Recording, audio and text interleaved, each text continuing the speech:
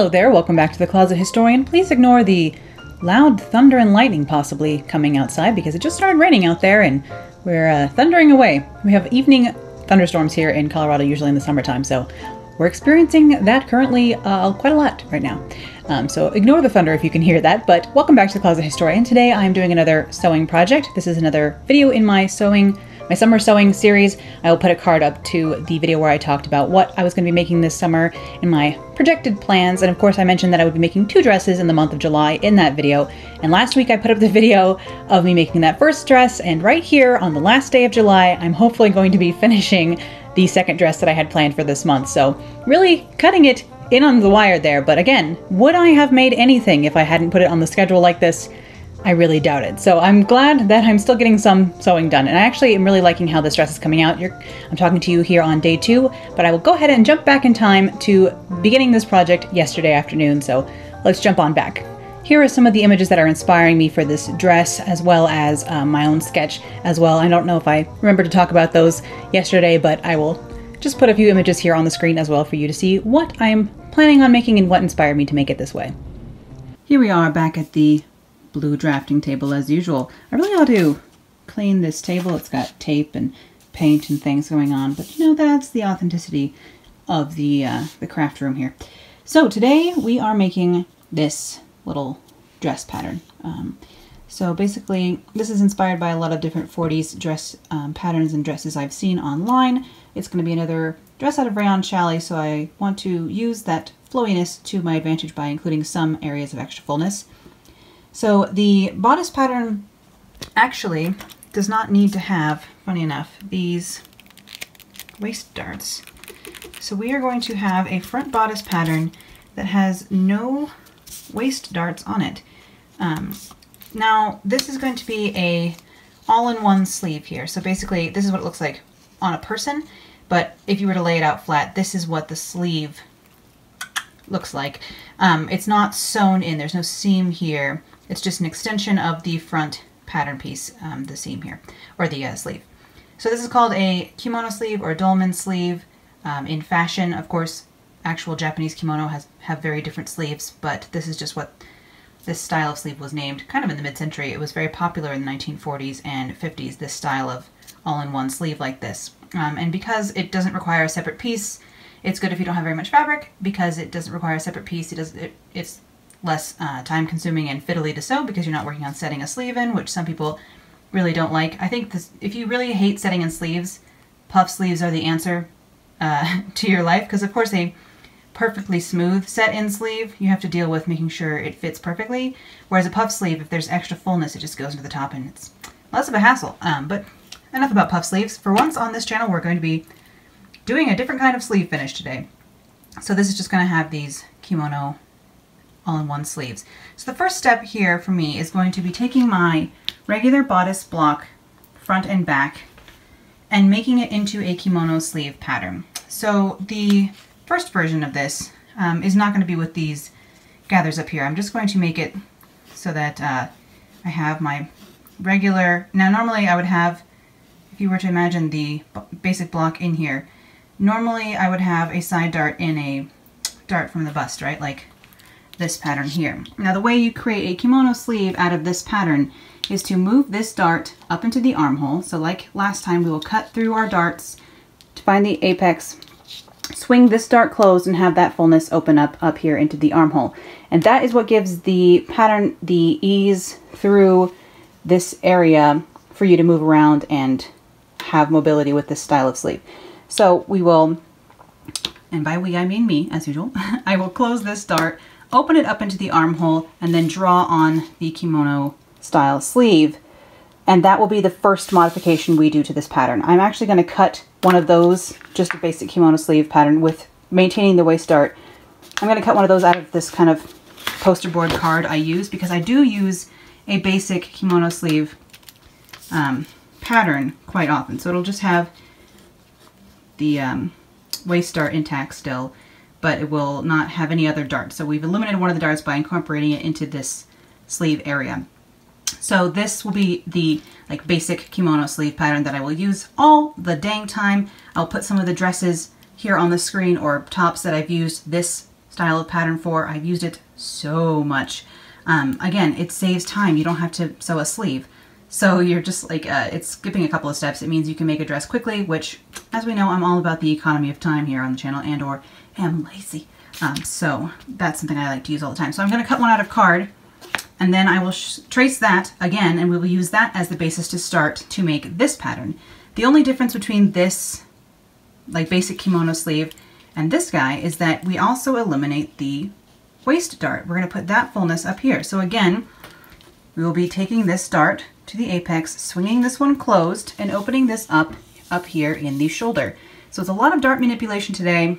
We're going to be closing this dart entirely, turning it into a kimono sleeve, and then this waist dart will become gathering uh, fullness up here at the shoulder seam. So that's all the modifications we have to do the front. For the back, I will show you how I use my new kimono sleeve pattern front to draw a kimono sleeve onto the back. Because you're not dealing with the bust in the back, you don't have to make as many modifications to this guy. You can keep your waist dart and then you just um, add on the sleeve and I'll show you how I do that once we get to that point. So um, this is the dress I will be making today and tomorrow, or this week basically. I'm trying, I'm to try and make it today and tomorrow.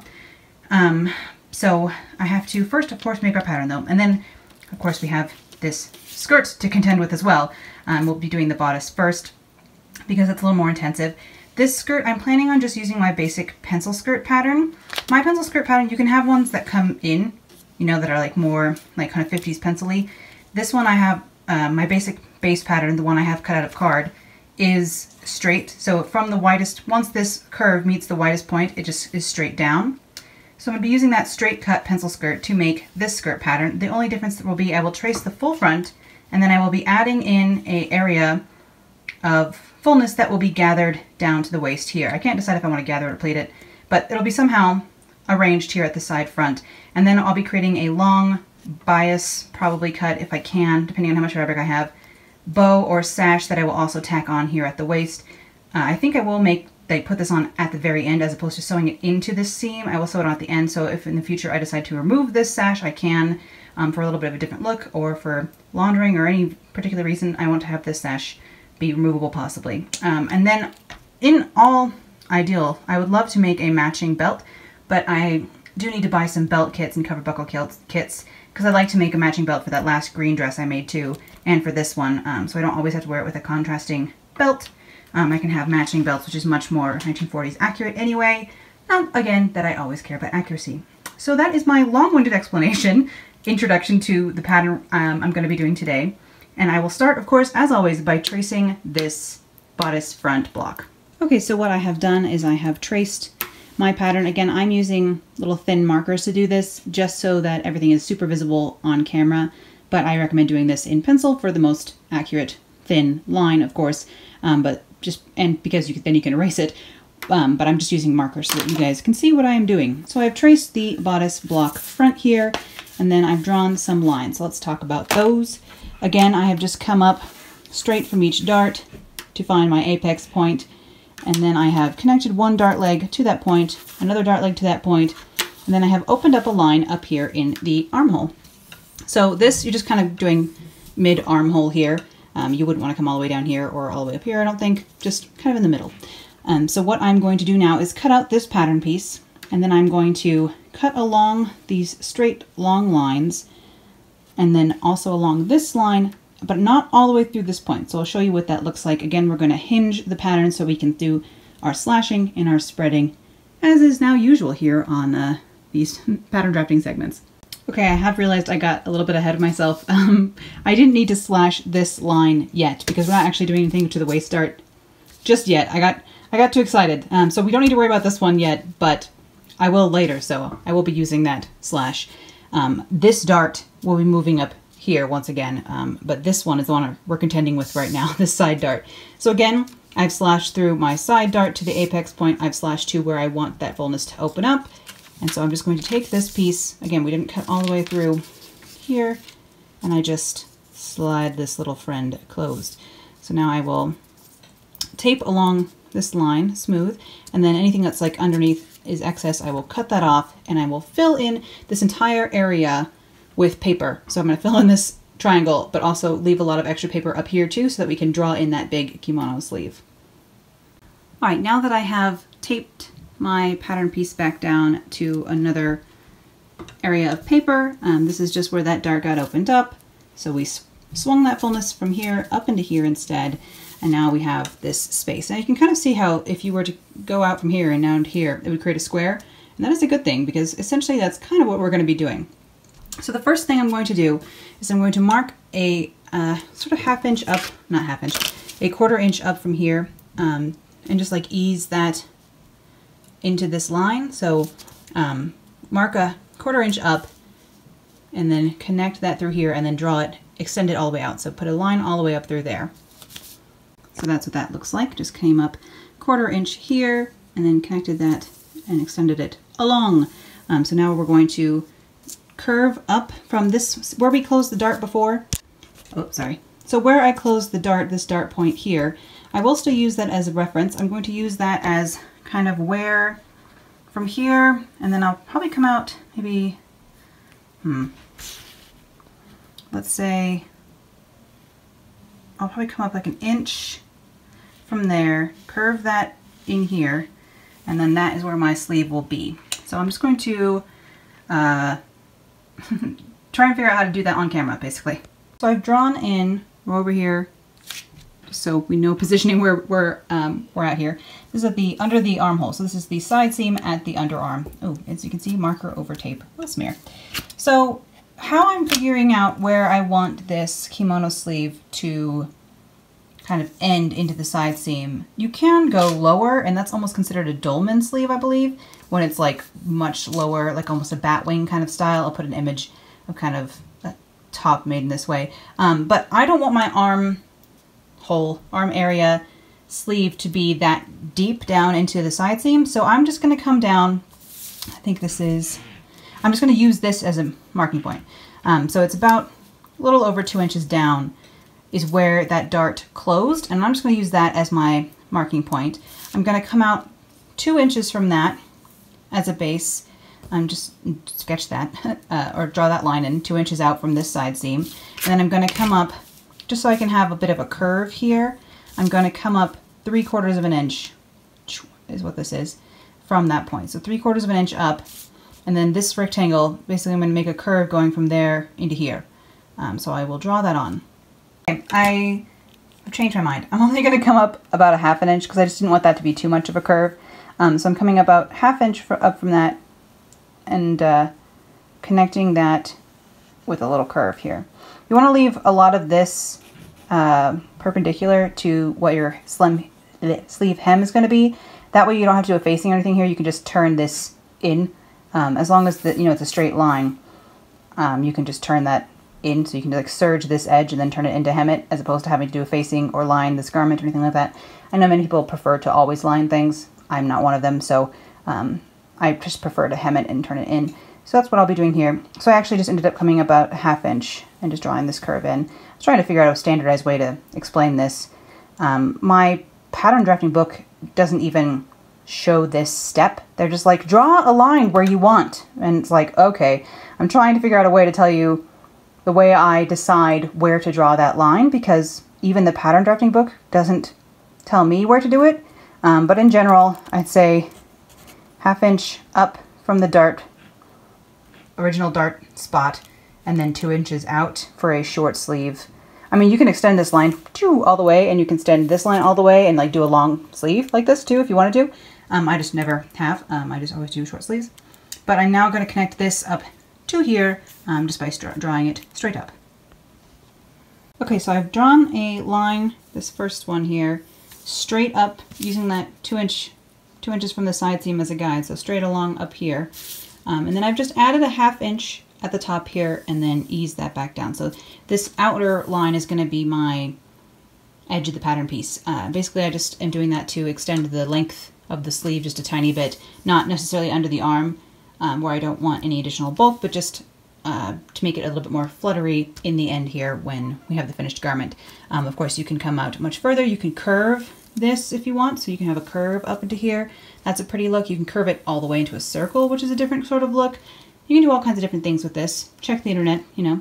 The internet will tell you how to do almost anything, um, probably including different kimono sleeves. But um, that's just how I've achieved this sleeve shape as I, I came up along here, those that same two inches that I came out originally to find my curve, drew a line along here, put a half inch out, and connected back down. And then this is going to be, of course, it'll be turned in a half inch, which is why two inches is good um, because it gives you plenty of space to turn that in and hem it when you want to. So this is the, the front kimono sleeve bodice. I will just cut this out here and then I'm actually going to trace this onto card paper so that I have a official version that I can trace all the time when I do this pattern because I do make this one quite a lot.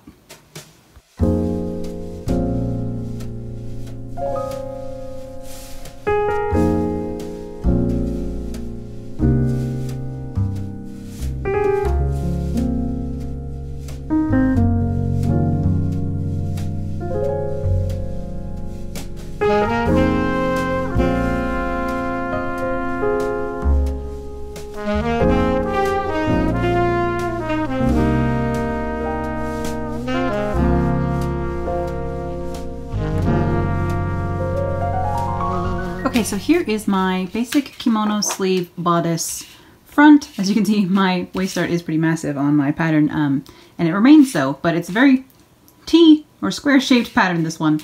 Um, but I just wanted to cut a copy out, a copy out of card so that I can use it quickly in the future, and I'll just trace this and modify this from now on as the same way I would um, with my block pattern. If I know that I want something with a kimono sleeve, I will just use this as my base instead of my basic block because it's nearly the same, it's just modified to have that sleeve. So um, I will now take our original piece of paper pattern that I just made um, and I will use this slash I got excited about earlier and I will make another slash up here into the, this is the original shoulder seam of our block pattern that's still, you know, this is kind of nice because you can see how the block is, you can see where it is still within this guy, whereas on this you can't really see where the block was anymore. But on this one, I'm just going to take from the apex up into this shoulder area. I'm going to cut a, draw a line from there and then slash into that so that I can hinge this dart that I already, you know, got excited and slashed earlier. I'll take the tape off here and sli um, slide this one closed and that open that fullness up here into the shoulder. Okay, so I have my waist dart line uh, slashed up to the apex point here, and I have a slash to up here in the shoulder. I basically just drew straight up from where the apex is. You can see it's like along this line of dots and numbers. Um, so I just drew kind of straight up from the apex into the shoulder line here. So this is about an inch and a half um, up there. And I'm just going to, as usual, swing this dart closed. So I'm going to get rid of all that fullness it's all going to open up up here in the shoulder line. So we're starting to get a wacky looking piece again, which uh, is exactly what we want here. So I'm going to tape this line shut and fill in that top area with more scrap paper. All right, so this waist dart is now closed and all that fullness has been moved up into the shoulder area. This is what's going to be gathered down into this little area. So uh, all this fullness is going to be collected into some gathers here at the shoulder, and there will be no darts, a smooth waist. How, how rare in my sewing, but uh, it'll be nice to have to not, you know, usually you have to sew four darts on a front bodice piece, and this one I have to sew no darts on this front bodice piece, so that'll be nice. Um, I've just connected these two uh, points here with a straight line, and I will cut that off, and then the front pattern piece will be done. So I will go ahead and label it and all that jazz, and then we will move on to doing the back. Okay, so as usual, I have just traced my bodice back onto a new piece of alphanumeric paper. I've marked the 5 eighths, so this is the actual center back line. This is the extension for putting a zipper in or what have you. I have my dart here, and I'm just going to show you how I'm penciling in this kimono sleeve for the back. So because we don't have, again, there's no bust to deal with, there's usually only one dart in the back. Sometimes there'll be a shoulder dart. Um, for me, I just have this one dart on my block.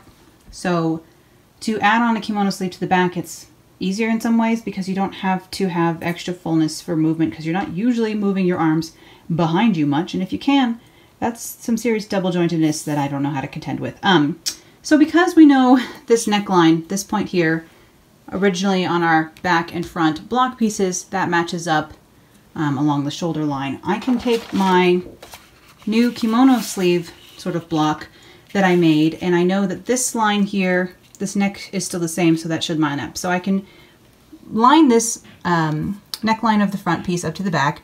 And as you can see, we have that quarter inch that we added um, is going to still need to be added up here too. So if we connect that along here, sort of move this up a quarter inch. So uh, I've marked with a little dot here, a quarter inch up from that point, just like we had raised it on the front. So I'm just going to line up this point and this point. I'm going to use that to trace this top line. So I will trace this top line here, and then I will come down a little bit, basically. Um, now, of course, this doesn't line up down here at the bottom. So that's just how I'm going to do the top. For the other bit here, I'm going to take my pattern piece and line up the side seam because we know the original side seam of the block this was used for matches this one. So I'm going to take that, line up the side seam from the point at the bottom to where our new kimono is, and then I will, not easily while holding my phone, uh, trace this bottom line here and then go up just a tad. Um, so basically I'm going to be connecting this point to the other one we just drew up here. So now I have, now I have the curve at the side seam, looking very similar to how the front um, is done, and I have the top here, very similar to how the top is done. Now, this distance, if you were to measure, is less. Um, it's probably like an inch at least shorter than the front one. Um, that's just how my pattern always works out. I'm not sure if that's the official thing, but it seems to work for me. Uh, I usually, you know, you have less fullness in the back than in the front to contend with, uh, I, I, find um, as a rule. So, um, of course, rules are meant to be broken. If your body is shaped differently, perhaps this is different for you. But for me, this is how it comes out. Now, something I forgot to mention in the front, but is also pertinent there too, is this is the shoulder seam. And in order to fold this hem over, man, my hands are dirty from these markers. Um, in order to fold this hem over and sew it down, you have to make sure that this is, like the edge is squared. Um, so you're gonna line up the lines of this and like just make sure that this is perpendicular at a 90 degree angle, this line coming down. Um, and same down here, you want it to be 90 degrees. So if it's at a different angle, you won't be able to just hem the sleeve. So you want to make sure it's square at both those angles and then connect the line between them basically.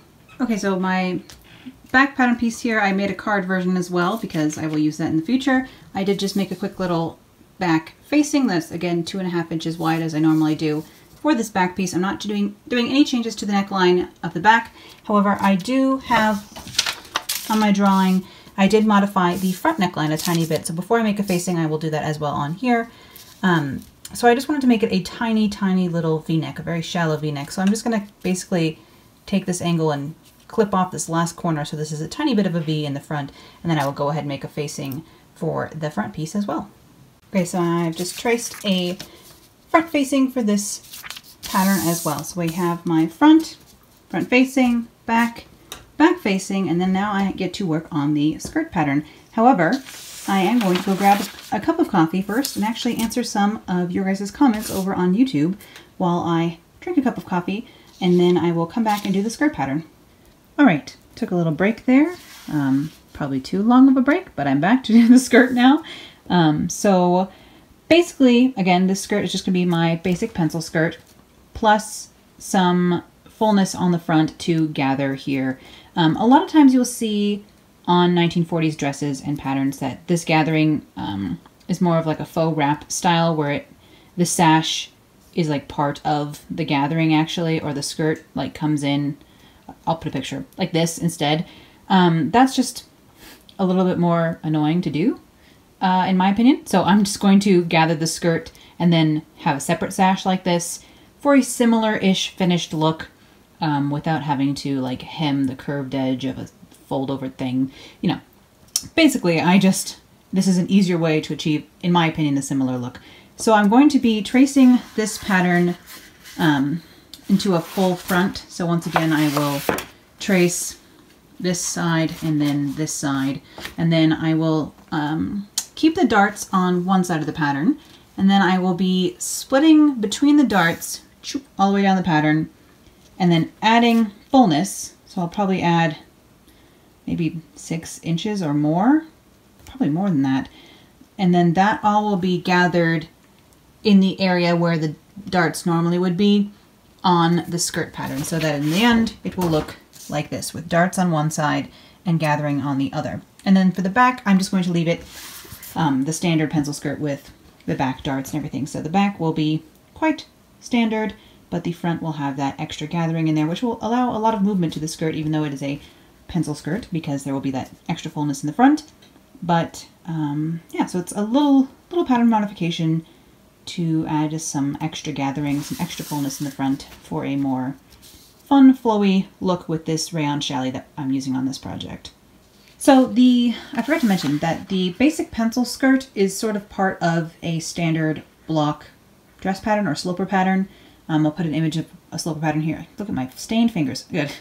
I, I promise I've washed them several times. Uh, it's just stained from the markers. Um, washable, my arse, Crayola. Um, but uh, I'll put a sloper pattern here so you can see it involves the bodice, the skirt, and a standard sleeve. So um, again, I think you should get a sloper or a basic block pattern like this and size that pattern to fit you perfectly and then use the pieces like I am here in order to draft different dresses, different things in the future, basically. Um, that's just how I do my sewing and it's how I recommend others do their sewing as well. Um, once you are, you know, past the very beginner stages of sewing, I think it's the best way to uh, sew because you know everything will fit you each time because your sloper fits you. Um, but we all know about my soapbox about that. So uh, moving on, this is my basic block skirt pattern. And unfortunately, because poster board only comes so wide, uh, this is actually only 27 and a fourth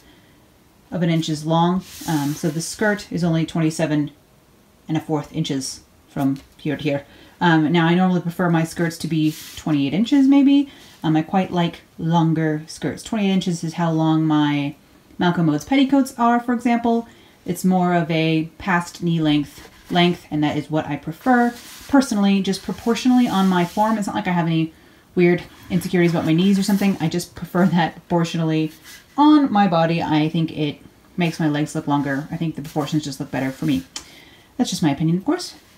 Y'all can disagree if you should like. So because this pattern piece is only 27 and a fourth inches long, I did, I do have to add on a little bit more here. I will make this 28 and a half inches long. Um, that way I have that half inch to work with. Usually I will hem things with like not necessarily a really deep hem unless I'm working on something particular. Usually I'll hem things with a bias tape or rayon seam binding or just by itself. So I'm just going to add a half inch onto this and then I'll decide later what how I want to hem it basically.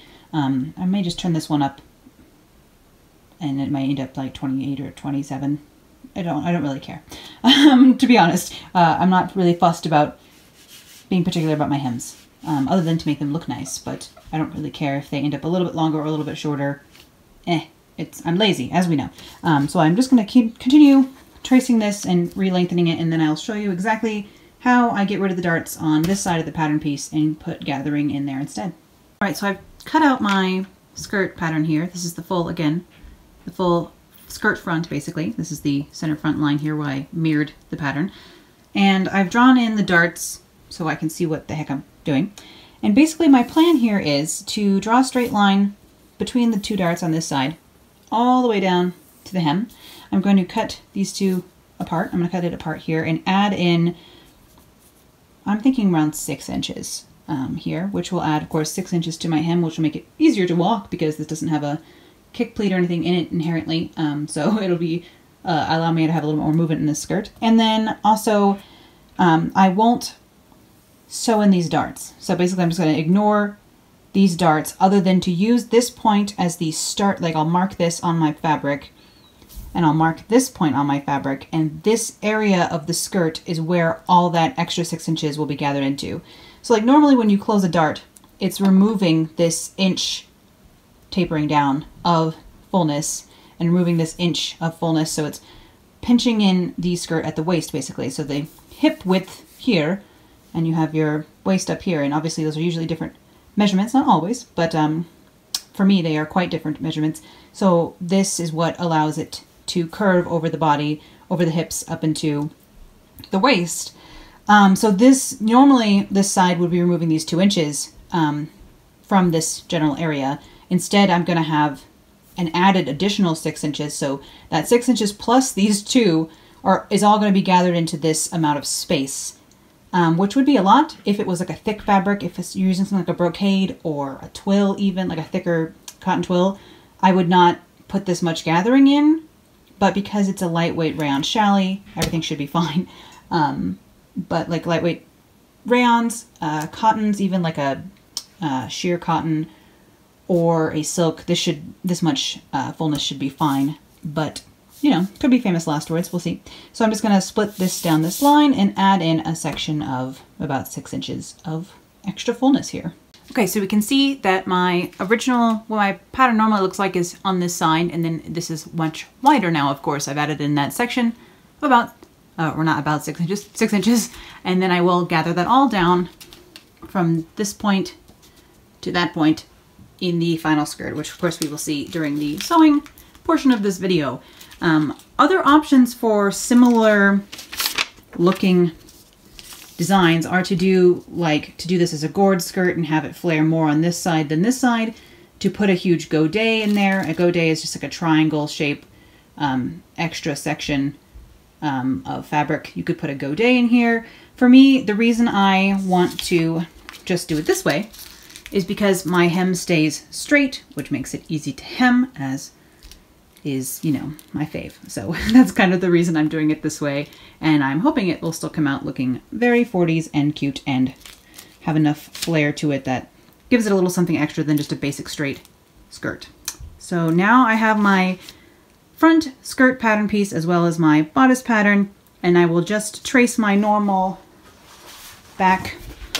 I'll just trace a paper copy of this pencil skirt back and make sure it's the same length again because this one, the poster board was even shorter, so this one's only 26. So I will just make sure the hem is the same length and then I can start cutting this all out of my lovely tropical print rayon.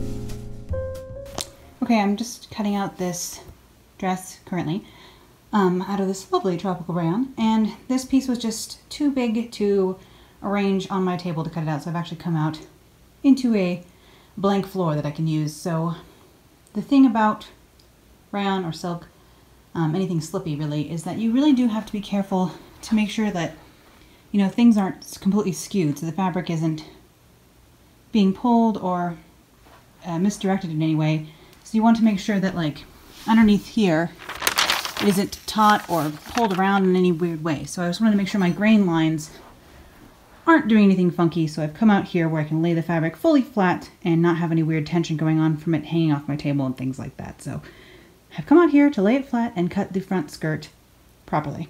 Okay, so I went ahead and cut out the skirt front laying flat out there on the floor so I could make sure that it wasn't moving. As you can see, as soon as you start you know, moving it around, the fabric wants to move out of its bounds. So I've got it pinned back again. Basically all I've done here is pinned the pattern piece onto the back side instead so that I can draw some markings on. I went ahead and drew in my dart points just using a Prismacolor pencil here, um, which is, you know, you should use a chalk pencil, but I prefer these and I have them laying around. Um, so I just marked dot dots onto the skirt while it's all pinned like this. Um, if you, I prefer to pin the whole thing down again so I know that they're going where they're supposed to be. If I just pin this top area, a lot of this moves around and maybe these points won't be exactly where they're supposed to be. So I like to have the whole thing pinned back when I'm using a slippery fabric like this one because this is, you know, rayon is a slippery beast and it will come, it will travel where you don't want it to. Um, so I have uh, the darts marked on the side, but I have to mark, this is that six inch um, bit of extra foam so I added to this side, which I want to gather between where the darts originally were. So I've got that dart point marked here, and then the part from the other dart marked here. So this is where my darts would have been on this side had I not added this huge section of fullness. And now I'm going to be adding gathering stitches and gathering that down to that like three inches that would have been where the darts were. So I wanted to make sure I mark those points on here so I know where to put my gathering stitches in. And then I will hold it up to my regular pattern piece, basically, my regular cardboard one, to once I have it gathered to see if I have the size right. And I will show you that when we get to that step. But right now I'm just going to take everything off of the pattern, unpin everything, go ahead and serge all the raw edges here with this white thread that's already set up nicely. So I'm just going to serge all my raw edges of my pattern pieces and then I will start sewing them together. Um, probably starting with these darts, of course.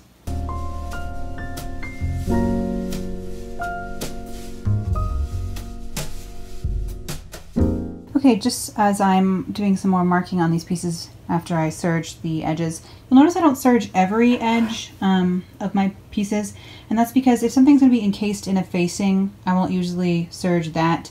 Um, this is probably going to be folded twice to hem this area, so I also didn't do serging here just because it's going to add bulk this thread, um, and that's just areas where I don't want that to be if I don't have to. Um, so this is the front bodice piece here. This is the neckline right here.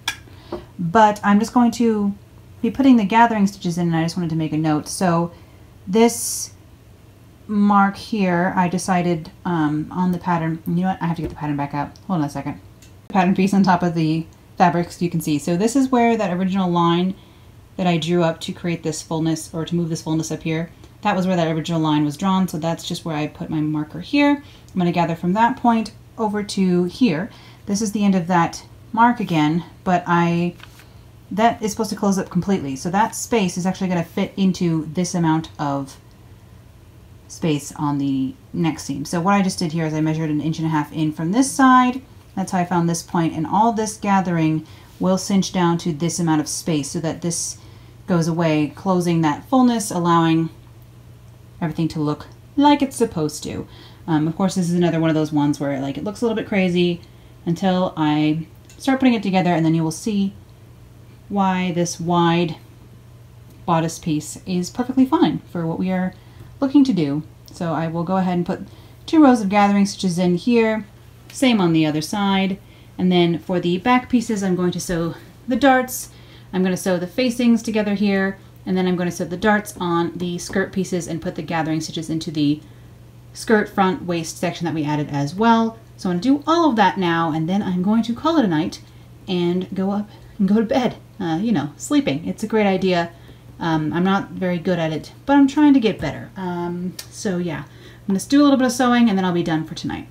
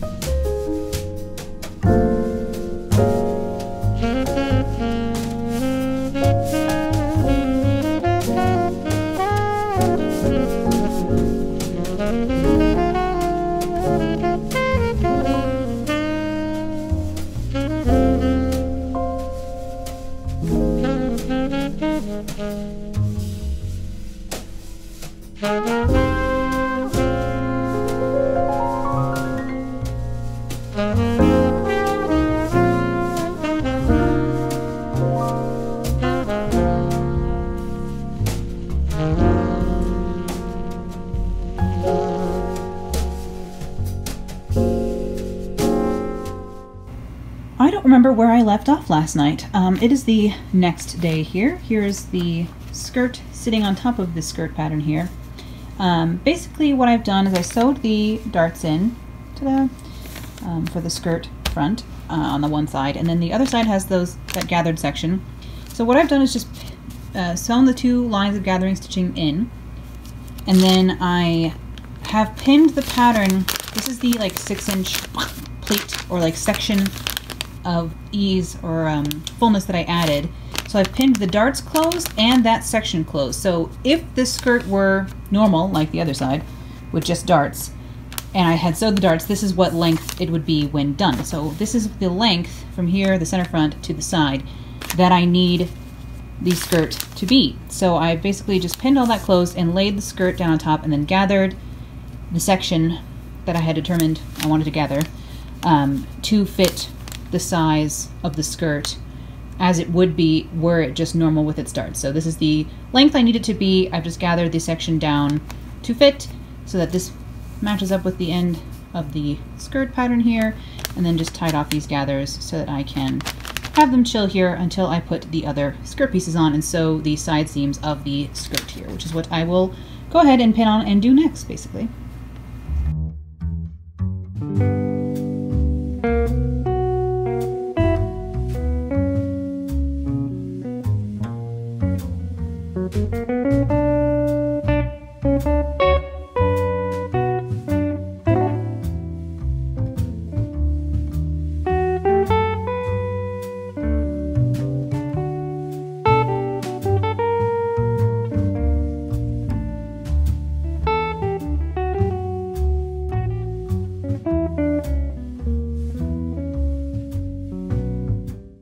Okay, so what I've done here is I put my gathering stitches between the two markers on the front bodice shoulder area and then what I'm doing is I'm actually laying it on top of the card version of the basic kimono sleeve. So this one doesn't have that huge dart here and of course we want this to be the same as this piece would be despite us putting that um, extra fullness in there. So this shoulder seam needs to be the same length as it would be on the standard kimono sleeve pattern, but I have this extra gathering in here. So we're gathering everything down so that this line fits. Um, so now I've just basically gathered this section, tied it off um, for now so that it is the length of the top shoulder seam of the kimono sleeve bodice standard one. Um, so that's basically how I've done that. I'm going to do the same for the other side and then I will sew the side seams and shoulder seams of the um, dressed together. So these are the back pieces here. And I will just go ahead and sew those on at the under arm and side seam and also at the shoulder.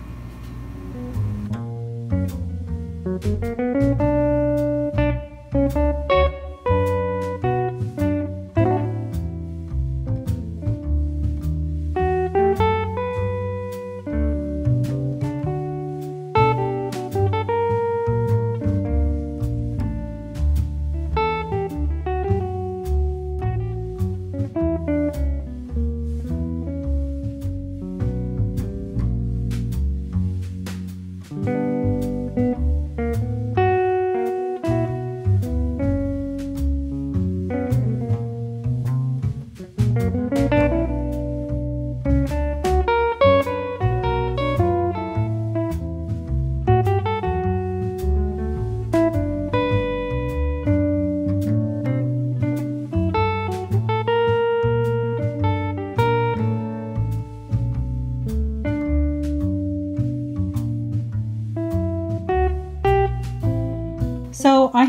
is actually the, if you imagine this is the sleeve, this is the side seam, this is the back piece here for uh, the bodice, and this is the front here. It's all very complex with this uh, pattern making it super busy. But so because there is this curve under, like right in the underarm of a kimono sleeve like this, you, as always with curves, have to clip into this curve to allow it to sit properly. As you can see, you can't even like iron it, you know, well. You can iron the straight part of the seam, but once you get up into this little curve, it's a problem. So you have to clip into this seam. Um, you always have to clip your curves, both um, curving in and curving out. So I'm going to have to put little slices in here and remove little triangles of the fabric. Now, underneath the arm is a pretty like high stress area for a garment, so you don't like you wouldn't want of all the areas you have to clip into, it's a bummer that it's here. Um, so there are two methods um, that I know of really uh, that are the main ways of securing this area, even though you have to clip into it, because you indeed have to clip into it for it to lay nicely. Um, and the first, uh, you sew the seam first, and then the first method is you clip into this area, you press everything. This will be like uh, not one ribbon where you can see how it doesn't want to lay there because it needs to be clipped. Uh, you press the seam allowance open properly and then you do a little tiny line of almost like edge stitching, top stitching along each side to hold that down, open, and there's a couple extra lines of stitching in there to secure it. Um, also, a lot of times you will see people recommend you sew over this area again along the same stitching line. So I guess start with sewing a small section over the curve again right along right on top of the original stitching line so that it's secured twice um, and then you clip the curve press it open stitch each side of the seam allowance down joot, joot.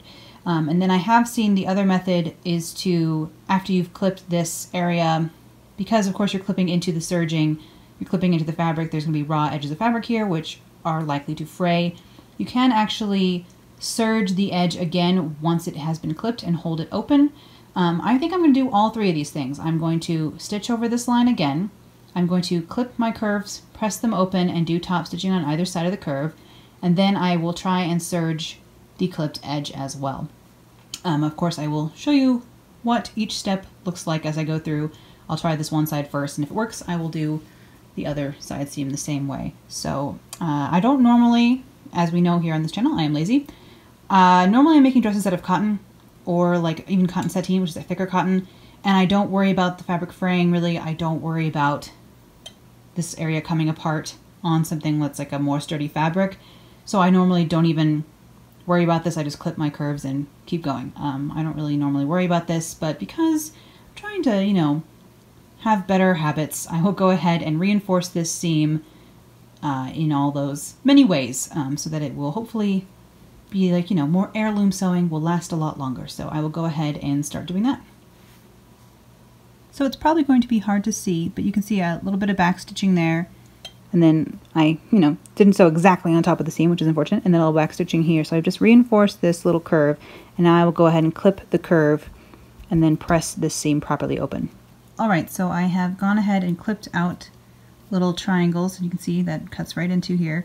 And when you press that open, you can see how much it opens up, how much space it really needed to have this seam be on proper curve.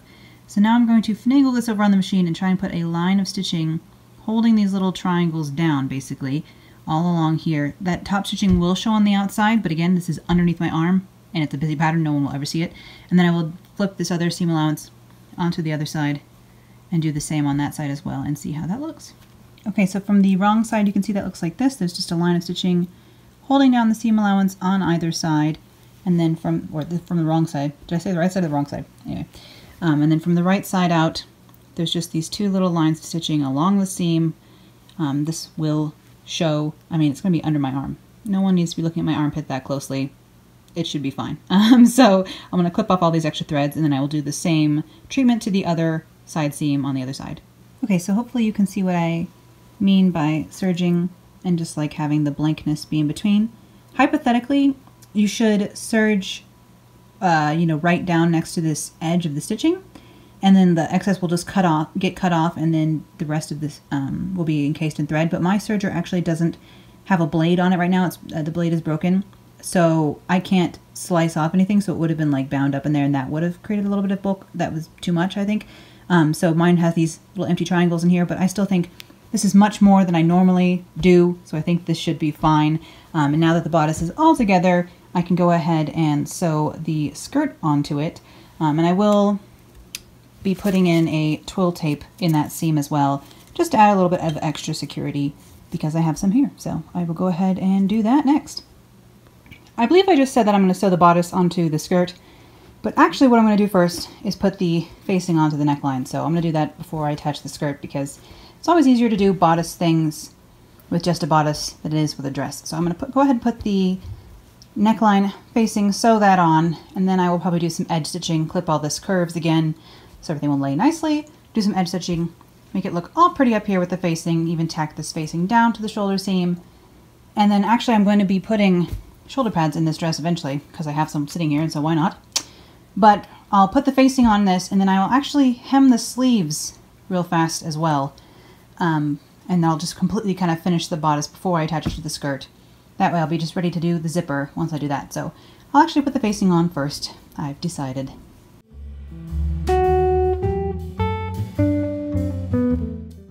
I just want to show you what I mean when I say I'm going to clip the curves on my facing. As you can see here, this line of stitching, it's quite curved back here.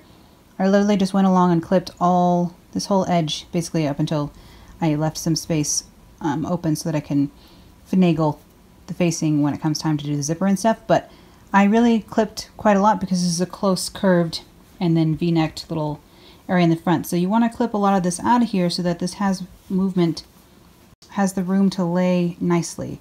Um, when they say clip your curves, they mean it. Um, so just for those of you who are like, what does she mean clip? Why are you cutting that? Um, it just makes everything lie a lot smoother on a curve when it has the room to close up on itself or open up if it needs to. So these are my clipped curves on my neckline facing. I will now go ahead and do some edge stitching, um, which is just where you sew all this seam allowance down onto the facing um, so that there's going to be a little bit of line of stitching on the facing side of this and that just helps hold the facing folded under um, because of course it's not like a full lining so it won't stay unless you do a line of edge stitching which helps keep it smooth and then also tacking it down keeps it smooth so I'll go ahead and do some edge stitching now and then I will iron this.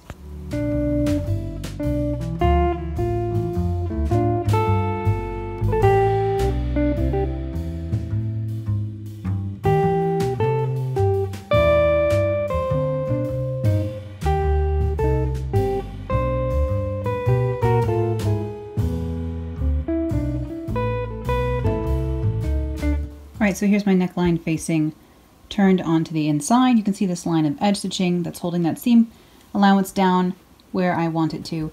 Um, basically this just means that everything on the correct side is all nice and flat and holds that edge pretty well. You can see you can see a little bit of the front here on the back. Um, you could push that up really close if you wanted to, but I don't particularly mind. Um, this is where the front little v-neck is. So that's because it's sitting so nicely because those curves are clipped on the inside so it was allowed to sit nicely. So all this nice curving is only because of clipping it on the inside like that. So I will go ahead and I will tack this facing down just so this bit of serged edge to this bit of serged edge basically. Tack that down there, tack it down at the other side seam. Because this neck is so high, there's not really a risk of this flipping out and doing weird things, so I probably won't even bother tacking at the front. This will be sewn down in the end to the back too. So it'll be tacked here, here, and at the two shoulders, so that should be enough. If not, I can always add a little tack somewhere else along the facing in the future if I should need to. So I've just gone ahead and taken the sleeve here, and I'm just folding it over uh, about a little under a half an inch, maybe a centimeter, and just folding it over twice, and then I'm just going to go ahead and hand stitch this down with the same little long and short sort of weird hem stitch that I do on everything. So I'm just going to go ahead and hand stitch this hem down and then I will do the same for the other sleeve as well.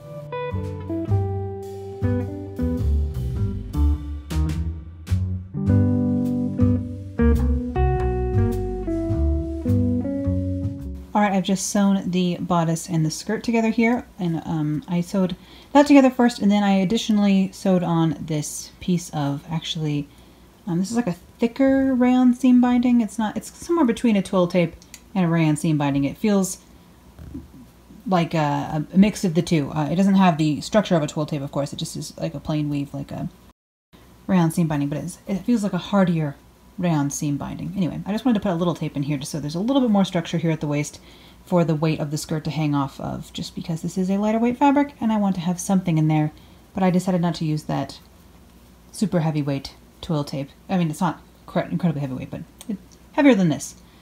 I'm trying to justify my decision when I don't have to. You're not here. I'll do what I want. Um, so that's in there now. So now the bodice and the skirt are attached, and of course that means I can press this seam open here, the waist seam, and sew the right sides together along the back because I always sew my back seam shut before I put my zipper in. So I will sew the back seam shut with like a large stitch length down the length of where the zipper will be. And then from there on to the hem, I will sew with a normal tiny, like size 2 stitch length. And then I will sew the zipper in, or basically iron that seam open, use that as my guide for ironing the back seam. And then, which I'm just noticing now, this side never got serged. What happened there? Wow, I must have been really tired last night because I never... Oh no, maybe that, that's the hem. That's the hem. Okay, gosh, I was like, I am losing it. Anyway, sew this back seam together. Here we go, here we go. Yes. Sew this back seam together, press that, and then I can start working on putting the zipper into this dress. All right, so this is my center back seam of the dress here. So as you can see, I have it open for like the length of the zipper. Basically, I just, I think this is a 24 inch zipper here that I'll be putting in. So I basically measured down from the top, um, you know, and like an inch after that is where, or above that is where my actual seam starts. So from here down to the hem, it is sewn with an actual, uh, you know, normal stitch length. And then from there on, I sewed it with a large stitch length, that, just basically basting it shut, ironed it, and then took the threads out. So this is all nice and crisp along that edge now. And I don't have to worry about folding it over and ironing it myself because ironing the seam is an easy way to do that. Um, and then I have I have added actually just an inch of that super lightweight interfacing along the whole area where the zipper will be put in just to reinforce that area before I put the zipper in and now I will go ahead and do that. So again just explaining how I zipper here. Now that I have the folded or um, I guess folded and pressed seam open again, what I do is I flip it to the right side out I'm just going to take one side here and I've pinned it right close up to the teeth, right, right where the folded edge is, right up close to the teeth. And I will go ahead and sew that quite close to that little edge there. So I'll just go ahead and sew that along there. And then what I will do is bring this over here, match it up, pin that all along, and then I will sew against the teeth on that side to create a lapped looking zipper. So I'm just going to go ahead and sew a small stitching line along this side to start. Alright, so the first side of the zipper is all sewn down along the teeth there, and I just pull this side over and pin it so that this edge just covers that stitching, and I will sew along the zipper teeth here, just using my regular presser foot. I will show you when I get over there, um, and then I will just sew that down, and then that side will be done as well. So again, how I do my zippers is I line up the edge of the regular presser foot here is just resting along the zipper teeth if you can kind of see where the zipper teeth are underneath. And this is, you know, a large amount of space. If I had a zipper foot, I could get much closer. But do I care? No, mate, not enough to change the zipper, uh, or the presser foot here. So I've just got the needle moved over as far as it will go. Um, that's far enough for me, and I will just guide that along the zipper teeth all the way up to the neckline and that will be my lapped zipper. And again, this is just how that looks when it's done. So we just have our zipper all in here now, and it can you know, work as, as uh, needed, basically.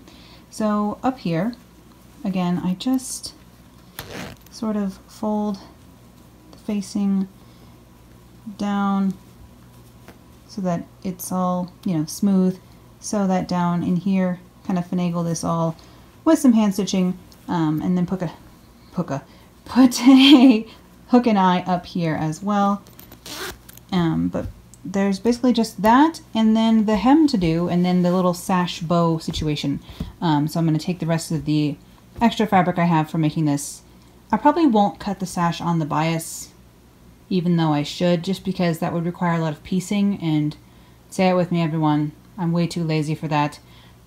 So I'll probably just cut the bow and stuff on the straight grain. I don't think it'll make that much of a difference. No one will know but us. Um, so I will go ahead and stitch all this down, and then I will work on the hem.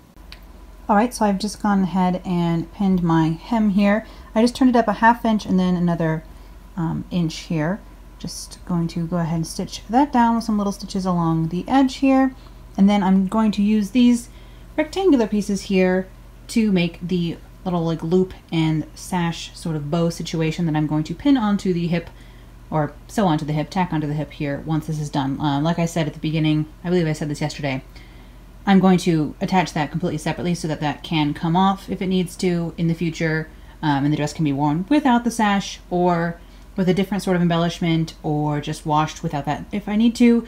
So that will be completely separate and tacked on at the end, but I will go ahead and hem this first and then I will make that. All right, I am now working on the little bow-like sash detail here. Um, basically, I'm just taking a length of fabric. I would say this is probably, oh, I don't know, two and a half yards long. Um, I don't know how much I'll end up using it, but I just sort of um, cut a long strip off the salvage. As you can see, this is the salvage here. And I have it pinned into a tube. So I just have this pinned into a long tube here. I'm just going to go ahead and sew along this edge, and I'm going to sew the other end closed as well.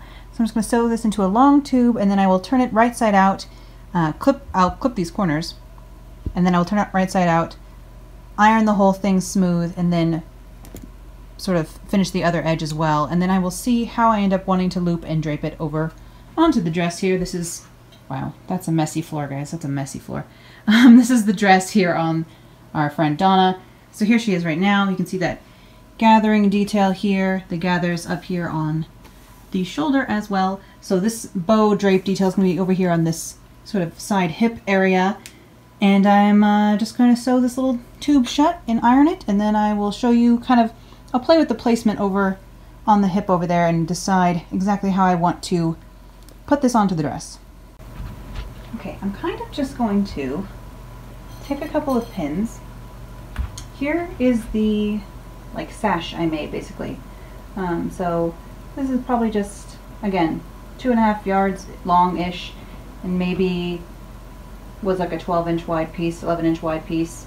Um, just sewed that into a tube and then finished the ends off so they're all nice and then it's all nice and pressed.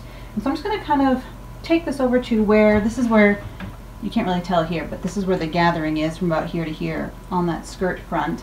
And so I'm just going to pin this sash uh, next to that, next to the side seam, which is just here, and kind of play with it and see what I end up liking. Um, kind of doing a little bit of a bow drape-ish kind of look. And so I will see what I end up liking. Oh. So after tacking on the little side sash, uh, I just did some hand stitches to sew that on. This is the finished dress on me. I'm really happy with how it came out. It fits just perfectly. Um, I really love this pattern. It does get a little bit lost in this lovely tropical print, um, but all the details we added to the pattern with like the shoulder gathers and the gathering on the skirt, things like that, they kind of get lost in this busy tropical print, which I do really love the print of this fabric, so it doesn't bother me too much, but I will probably make this same pattern again in another fabric, probably something solid, so you can see all the fun detailing with the shoulder gathers and the gathers on the skirt once again. But now, of course, I have this pattern. I can make it as many times as I want in any different fabric, which is what's nice about, you know, keeping all of your patterns and having a success with the pattern is you can know you can have it in your arsenal from then on. So that is, I'll be filing this one away to draw upon again in the future, I guess is what I'm is what I'm trying to say here. I hope my explanations during this video were uh, more coherent than I feel they are right now. I haven't edited this video yet, obviously, as I'm filming this, and I feel like last night I wasn't the most articulate when it came to talking about the pattern drafting, so hopefully I was more articulate than I thought I was, uh, and it comes through as a little bit more understandable than I'm fearing it might not be. But if you have any more questions or clarifications you would like me to talk about, just let me know in the comments below. You feel free to ask any sewing related questions really. I will try and answer them if I can. I will probably do a sewing Q&A eventually, so I will ask for lots of questions then. But for now, if you have any questions about this project, do let me know in the comments and I will try and answer them as best as I can or point you to a better resource as I usually try to do because I don't really consider myself even though I've been to school for this kind of thing, a total expert on all of sewing because there's just so much to know. But thank you as always for stopping by here today and coming on this sewing adventure with me, and I will see you again here on the channel soon. Bye.